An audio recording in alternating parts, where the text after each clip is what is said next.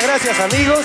Vamos a tratar de contestar algunas preguntas que nuestro público asistente tiene para nosotros. Así que vamos para allá. Hola, ¿cómo están? Bienvenida. ¿Quién tiene por favor la primera pregunta? Vamos para allá. ¿Cómo está? Bienvenida, muchísimas gracias. Hola doctor, buenos días. Buenos días. Mi pregunta es, ¿los parásitos intestinales pueden producir cáncer de estómago? Ok.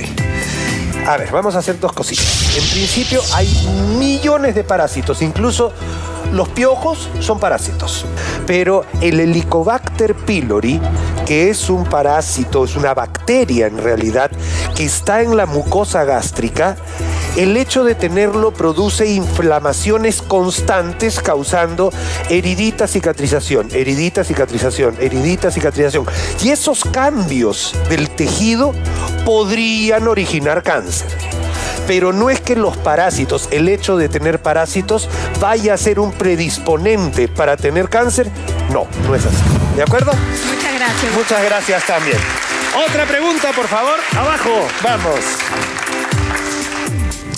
Adelante. Doctor, ¿cómo está? Quisiera saber por qué las personas pueden sentir punzadas en el pecho.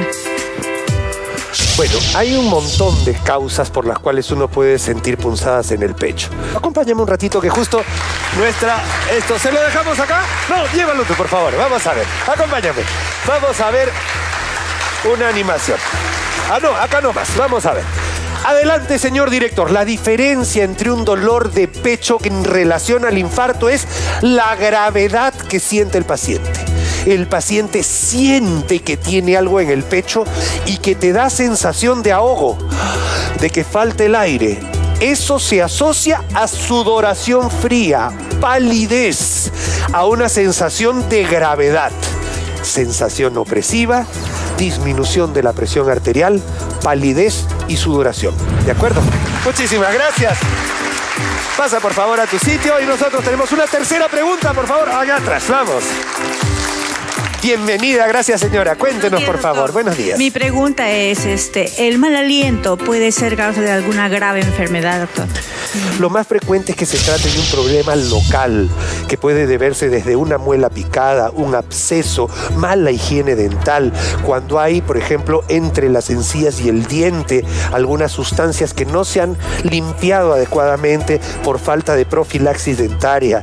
Pero cuando hay mal aliento a partir de una enfermedad, son etapas graves de la enfermedad, ¿de acuerdo? Pero no necesariamente eh, es que teniendo mal aliento uno pueda decir, tú estás muy mal del hígado. Así no funciona. ¿De acuerdo?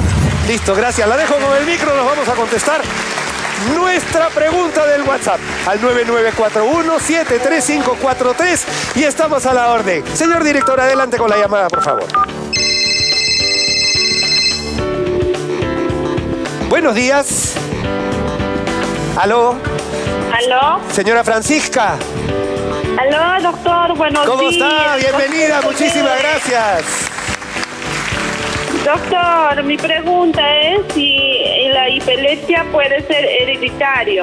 La epilepsia me dijo. Sí, la epilepsia. Ok. Señora, la epilepsia no es hereditaria. Vamos a hacerlo muy fácil. Solo una muy, muy, muy pequeña parte de los casos de epilepsia son hereditarios.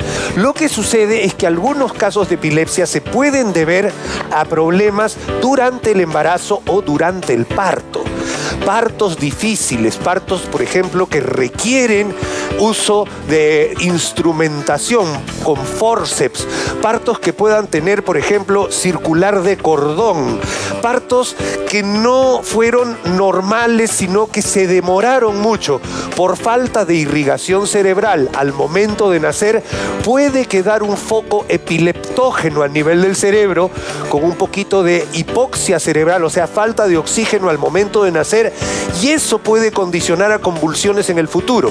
Pero eso no es hereditario, eso es de nacimiento o congénito. Pero hereditario quiere decir que implica carga genética y la epilepsia no se adquiere por carga genética. ¿De acuerdo? Muchísimas gracias, señora. Muy amable. En este instante aparece la ganadora de la pregunta del día. Y hoy hablamos. Vamos a ver. Es importantísimo esto, por favor, porque es sumamente importante. Hemos hablado de situaciones muy especiales y entrando a una escena que podría pasarle a cualquiera. Y hemos hablado de la electricidad. Señora, la electricidad es nuestro aliado. Gracias a la electricidad tenemos las comodidades que todos solemos disfrutar o pretendemos disfrutar dentro de la casa. Pero sobrecargar enchufes a la larga lo que produce es una mala conexión eléctrica que puede generar desde incendios donde uno lo pierde todo hasta problemas como la electrocución donde uno puede perder la vida. La verdad es que la electricidad nos ayuda, pero hay que saberla administrar y hay que actuar con prudencia. Muchísimas gracias amigos, nos despedimos. Hasta luego.